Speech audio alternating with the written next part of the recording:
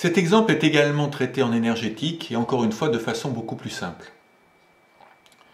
Je le traite ici pour l'intérêt que suscite l'analyse des directions des forces dans les différentes pièces constituant le système mécanique.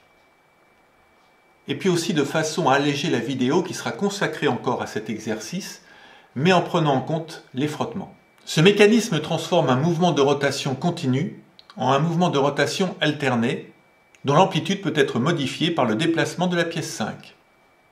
Le point B est le centre d'une rotule où coulisse un cylindre creux, repère 3, et dans lequel coulisse une tige, repère 2.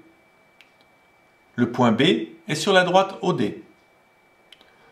On applique un couple C1 en haut et on cherche à calculer le couple restitué en D. On pourra également voir l'influence de la position de B et de l'angle θ sur la valeur de ce couple. La difficulté pour traiter cet exercice en semi-graphique est de déterminer la direction de la force en A. Elle n'est pas selon AC, comme beaucoup auraient tendance à le croire, après une analyse un peu trop rapide, ni perpendiculaire à OA. Il faut isoler deux et faire le bilan des forces qui s'appliquent sur cette pièce.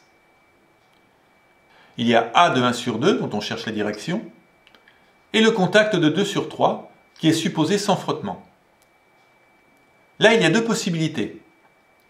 Le contact de ces deux pièces se fait sur une génératrice. Alors la force résultante est alors unique et dirigée perpendiculairement à AC.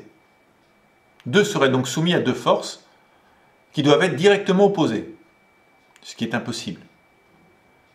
Donc la pièce 2 va se mettre de travers et on aura un contact en extrémité du tube repère 3 et en extrémité de la tige repère 2. Par contre, on ne sait pas de quel côté le contact va se réaliser, mais ce n'est pas important pour le moment, parce que dans les deux cas, la direction des forces de contact entre 2 et 3 sera perpendiculaire à AC. Donc 2 est soumis à 3 forces, dont 2 sont parallèles. On en déduit que la direction de la force en A est perpendiculaire à AC. Puis il faut isoler la pièce 4. La force issue de 5 sur 4 passe par B parce qu'il n'y a pas de frottement dans la rotule. Si le contact 3 sur 4 se fait en deux points aux extrémités de 4, il y aurait création d'un moment que la force de 5 sur 4 ne pourrait combattre puisqu'elle passe par B. Donc le contact entre 3 et 4 se fait selon une génératrice et 4 est soumis à deux forces directement opposées. On en déduit que 2 et 3 sont soumis à trois forces dont deux parallèles et perpendiculaires à AC. La force en C est donc perpendiculaire à AC. Une fois cette analyse faite, la résolution est simple. On calcule A de 1 sur 2 à partir du bras de levier de A par rapport à O, puis en isolant 2 plus 3 plus 4 et en faisant somme des moments égale à 0 au point B, on trouve C de 6 sur 3, et enfin le couple en D en multipliant C de 3 sur 6 par le bras de levier de C par rapport à D. On peut alors déterminer la formule de l'intensité du couple en D et son sens de rotation. Le tracé de l'esquisse paramétrée se fait de façon classique. Le point B symbolisé par un point situé sur OD et AC. Un trait d'axe horizontal est mis en place pour symboliser la droite OD. On met ensuite en place les cotes en remarquant que la droite AC n'est pas cotée puisque sa longueur change durant le mouvement on constate qu'on transforme bien un mouvement de rotation continu en mouvement de rotation alternatif.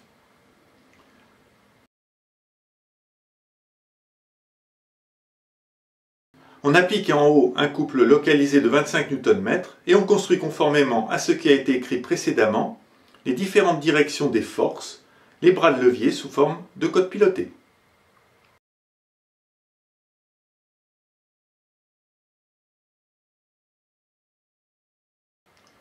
L'équation permettant de trouver le couple en D se calcule à partir d'une droite côté qu'on pilote par une équation.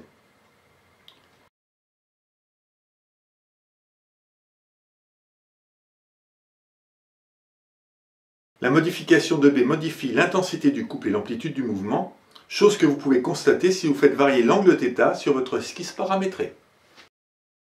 Encore une fois, on constate que cette méthode est beaucoup plus complexe que la méthode énergétique mais elle sera nettement plus précise, comme on le verra, si on prend en compte les frottements entre le piston et l'alésage.